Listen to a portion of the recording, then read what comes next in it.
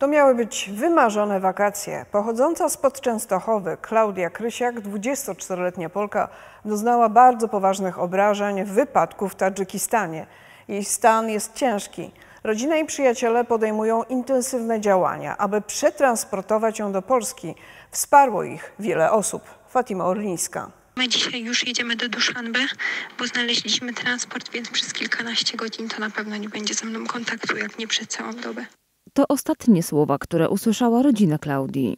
24-letnia Klaudia Krysiak z potrzebuje pilnego transportu medycznego do Polski. Podczas wymarzonych wakacji w Tadżykistanie, które od połowy lipca spędzała tam z wujkiem, uległa poważnemu wypadkowi samochodowemu. Lokalny kierowca, który miał wieść Polaków na terenie górskim, prawdopodobnie zsunął się z drogi i kilkukrotnie dachował. Co dokładnie się wydarzyło, tego rodzina dziewczyny nie wie. Tylko dostałam wiadomość, że mieli wypadek i żebym załatwiła jakiś transport. To, co konsul powiedział, to oni i tak jechali do stolicy wynajętym samochodem z kierowcą i nie wiemy, czy spadł ze skarpy, w każdym razie spadł i dachował. Praktycznie z cztery doby leżąca bez, bez niczego, prawda?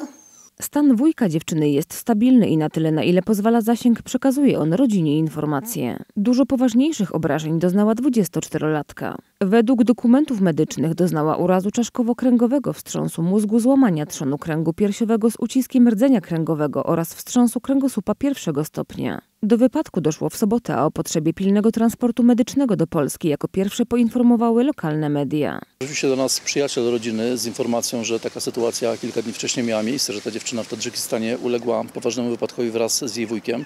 E, Znajduje się tam na miejscu w szpitalu i są po prostu potrzebne gigantyczne pieniądze, których na chwilę obecną nie jest w stanie pokryć firma ubezpieczeniowa. My kontaktowaliśmy się jako redakcja e, z posłem miejscowym, z panem Henrykiem Kypurem e, i on dość dobrze zareagował na, na pomoc. Zresztą był już poinformowany też przez inne osoby, które się do niego zgłosiły, wysyłały mu jakieś informacje e, SMS-em, mailem. E, No, zadziałał po prostu e, tam, gdzie mógł, czyli w Ministerstwie Spraw Zagranicznych. Okazuje się, że poruszył i Teofila Bartoszewskiego i osoby, które były odpowiedzialne za ten rejon azjatycki. W pierwszej kolejności Klaudię i jej wujka trzeba przetransportować z miejsca wypadku w górach do stolicy w Duszanbe, skąd specjalistyczny transport medyczny zabierze ich do Polski. I jeszcze na miejscu pilot zażądał 7 tysięcy dolarów w gotówce za samolot do miasta. Transport śmigłowcem medycznym do kraju to koszt nawet 100 tysięcy euro. W sprawę zaangażował się pochodzący z Kłobucka wiceminister Henryk Kiepura. Ja skontaktowałem się w poniedziałek z panem ministrem Władysławem Bartoszewskim. Y, Jakiś czas później odezwał się zastępca dyrektora Departamentu Konsularnego, który pilotuje tą sprawę w porozumieniu z konsulem. Y, Ja też z panem konsulem e, rozmawiałem.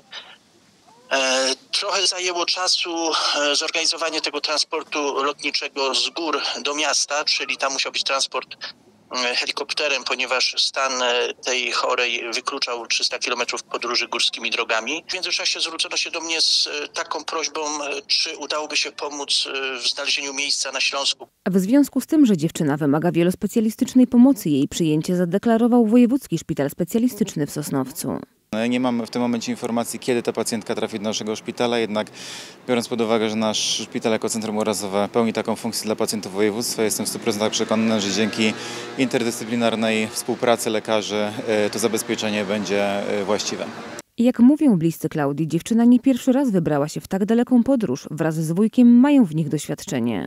Posiadają również ubezpieczenie podróżne. Jak się jednak okazało, w tym przypadku procedury są utrudnione. Rodzina Klaudii uruchomiła zbiórkę pieniędzy na pokrycie kosztów transportu medycznego. Pieniądze zostaną również przeznaczone na leczenie dziewczyny w kraju.